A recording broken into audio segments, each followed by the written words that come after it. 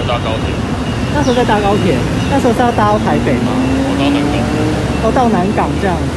那地震那时候有没有吓到？还好应该车里面所以没感觉。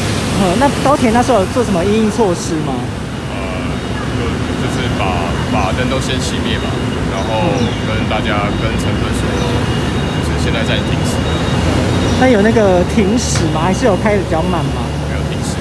没有停驶。那有没有觉得真的很大？刚刚？在在车里面还好，对，可能在外面的人比较比较辛苦。呵呵呵呵。所以你自己从哪边上来的？啊，从哪边上来？从新竹。新竹上来。OK。